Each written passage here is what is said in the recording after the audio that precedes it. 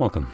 Front of me is an OSCAL C20 Pro and today I will show you how you can hard reset this device through recovery mode or whatever the mode we have right here in order to get rid of the screen lock that you might have set that you don't know, which obviously prevents you from accessing your device.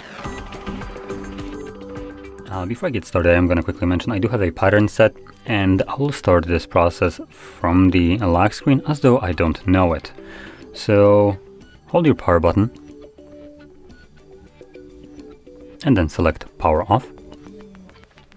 And when the device turns off, all you need to do is hold the power button and volume down at the same time. And we're going to be holding it for quite a while as this device isn't necessarily the most responsive one, so I don't know if it's still turning off at this moment, even though it already looks like it's off, or if it's just taking it a while to start to boot up. But once you see the logo on the screen, you can let go of the power button but keep holding volume down.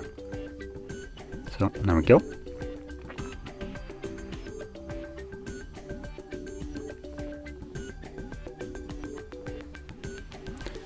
And from here, you can also let go of the volume down. Next, at the very bottom, you can see factory reset, so just click on that and now we're just gonna wait for the device to finish up the reset. Now this is going to be fully automatic, so it will take about two minutes to finish up, and once it's completed, we'll be presented with the Android setup screen. So I'll be back once that is visible for me.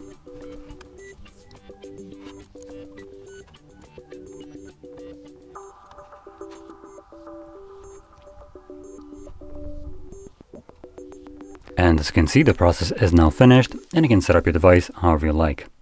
So that being said, if you found this very helpful, don't forget to hit like, subscribe, and thanks for watching.